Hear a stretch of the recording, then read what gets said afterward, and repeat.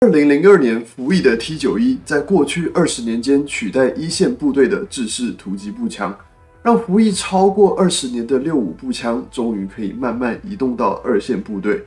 为了符合现代战场的作战需求，T 九一的射击更短，重量更轻，同时减少零组件的复杂程度，来增加维修和保养上的方便性。也被 HKC 六开发团队中的 Larry Vickers 评价为目前市面上可以买到性价比比较高的步枪上机甲，在涉及手感、稳定性以及后坐力上都给出很不错的评价。不仅如此，T 九一也是少数外销到国外的中华民国国造武器，现在有约旦、印度、印尼、科威特、阿拉伯联合大公国以及海地等国家装备。那既然 T 九一听起来评价不错，那为什么陆军要急着让最新型的 x T 一一二服役？又欢迎来到 DBS，今天我们就来聊聊最新的国军制式步枪 x T 一一二八。依照惯例，要讨论新武器的性能如何，最优先需要讨论的就是部队的需求是什么。我个人认为，目前装备的 T 九一最大的问题不是步枪本身，而是配套的套件。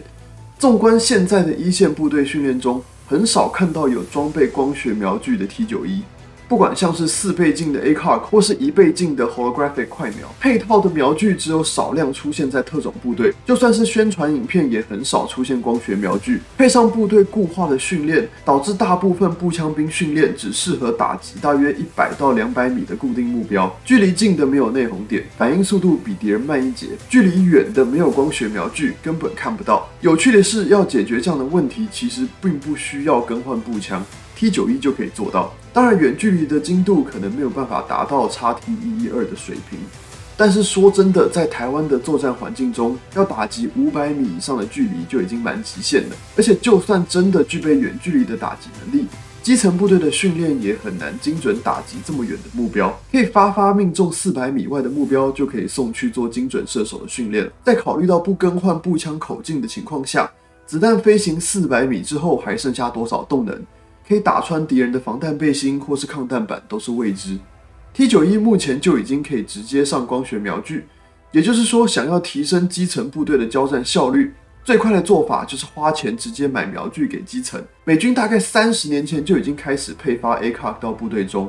尽管早期的 M 十六步枪的模组化系统也没有很完善，但 ACOG 还是可以装在提把的上方。用最短的时间提高步枪兵的射程以及侦察距离，并不是说提升精度的叉 T 一一二不能够有效解决打得远的问题，而是优先批量的购买光学瞄具装在 T 九一上，不然以国防部目前的计划，只给一一二装备瞄具，并且普及到基层部队，不知道又要等多少年。尽管光学瞄具上手难度较低，但是除了装备要有，训练也要跟上才有意义。现在部队最缺乏的就是使用瞄具的经验。去靶场看还是清一色的铁苗，基步旅的城镇训练还是可以看到基层单位辛苦的用铁苗打巷战，更不用讲后备衣或是义务役的训练中更难有瞄具的使用练习。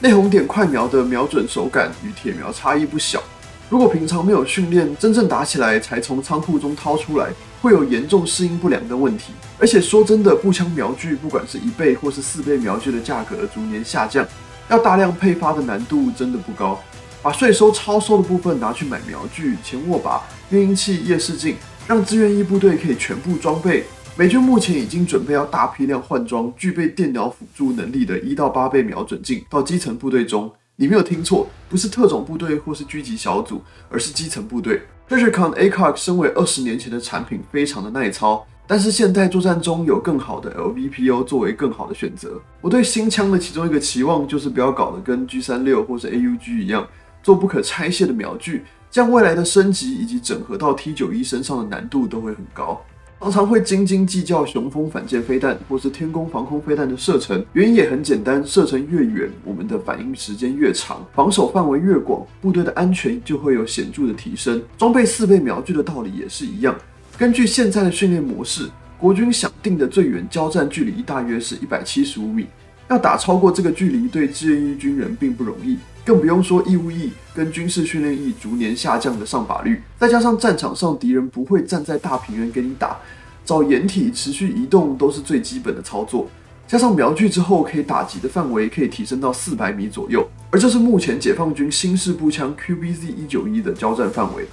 也就是说，装上瞄具之后，也只是与解放军的交战距离保持一致。美军现在的做法是配合步枪口径的提升以及智能瞄具的装备。把步枪的射程提升到八百米，这也将会是我们未来应该要准备升级的目标。只要手伸得够长，你就可以轻轻松松的在敌人的射程之外打火机。当年五七步枪换装 T 六五，其中的最大一个反弹就是来自威力不足的问题。这样的抱怨在美军中一样存在。五七步枪使用的是七点六二毫米步枪弹，相较于 T 六五的五点五六毫米步枪弹。杀伤人员的效果更好，射程也更长。当然会全面换装五点五六的原因，就是为了要解决步枪轻量化、高后坐力等问题。然而，这不代表杀伤力低下的问题并不存在。美军在中东作战时就遇到制式步枪弹药 M 八五五在打中敌人数发的情况下，敌方单位还是可以继续奔跑。转换作战位置，甚至进行反击。短枪管的 M 四早期使用的 M 八五五与国军步枪弹 TC 七四类似，同样使用 WC 八四四 T 球药，有射程不足、威力过低、精度差等缺点。在美军的实战中发现，五点五六步枪弹不只有致命性低的问题，更严重的是中距离穿甲力差以及停止力低下的问题。白话文就是五点五六有时候打不穿，有时候打不动。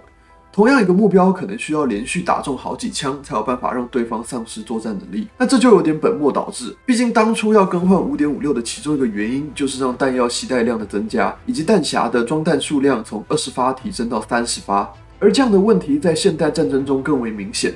根据测试，现在的制式步枪弹在中距离打击三级抗弹板打穿的几率不高。根据外国网友以及山姆小叔 Gun and Fun 频道的测试，好频道快去订阅啊！数十发的五点五六打三级抗弹板都打不穿。尽管影片中使用的是更短的十二寸枪管，理论上枪管换到二十寸以上，穿身应该可以提升不少。但现役 T 九一步枪的枪管长度为十六寸，配上 TC 七四对抗三级抗弹板的能力，的确有很大的疑虑。更何况是比三级抗弹板防御能力更更好的其他抗弹板。除了提升步枪口径之外，另一种做法就是更新穿甲能力更高的弹药，用不同的装药或是弹体设计来提升步枪弹的穿甲力。但是通常这种做法不只会有升级的上限，同时弹药的价格也会非常昂贵。步枪弹身为部队中数一数二基础的战备物资，如果价格压不下来，那时装的可能性就会非常低。中华民国的弹药一直都有大量外销到国外。旧的五点五六 M 一九三，或是研发生产新的六点八毫米弹药，在国外都有很大的市场。相较于国建国造，成本很难压低，因为卖不出去的问题，弹药外销一直以来都没有什么大问题。所以我认为，如果可以尝试生产新的弹药，来确保未来战场上的作战优势，同时坐上美军的顺风车，再赚一笔。总结来说，我个人认为，把 T 九一的产能提升上去，先大量换装 T 九一，把多余的经费拿去买瞄具。提升步枪训练的强度和品质，把叉 T 一一二的研发时间拉长，把弹药口径提升到六点八毫米，来提升杀伤力和穿甲力更为重要。T 六五 K two 的更新非常重要，进度也比想象中慢。从 T 九一推出到现在超过二十年的时间，部队中还是大量装备六五步枪。早年国军习惯用肥皂水或是钢刷刷枪，这种做法会导致枪管的膛线损毁。尽管现在这样的状况已经改善不少。但是这些受伤的六五步枪仍然在部队中使用，也因为新训单位为了要确保射击成绩，所以通常打靶都只用固定几把保养状况较好的步枪，导致其他受伤步枪的情况很难依靠打靶来了解保养状况。加上新兵训练没有完整的枪支故障排除训练，配合保养状况较差的步枪，实际上战场的情况就是枪支状况差，再加上 TC 七四积碳的问题，以及部分基层单位以及后备军人不熟的清枪流程，导致战场上步枪的故障率会远高于训练时的状况。而这些问题如果纯粹是更换精度更高。模组化更完善的新式步枪并没有办法完全改善，把研发的重点放在步枪保养的容易程度、折叠的前准心可以左右互换的人机设计优化、做工优化、枪身本体更耐操都很重要。至于口径的提升，可以学美军的做法，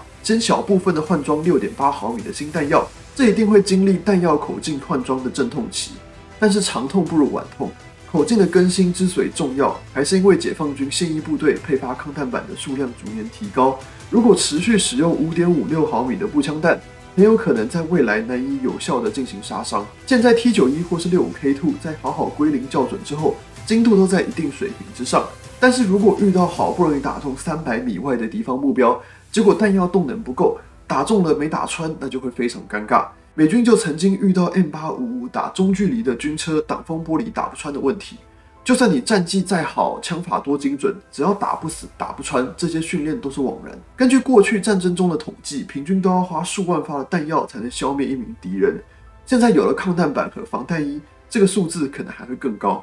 好弹药与好武器一样重要，都是相辅相成、缺一不可的。最后，拜托国防部开放官兵自购步枪配件，都已经二零二三年了，你就承认你换装的速度跟不上需求？让基层部队有基本的选择权。那今天的影片就先到这边，我们是 DBS，我们就下次再见喽。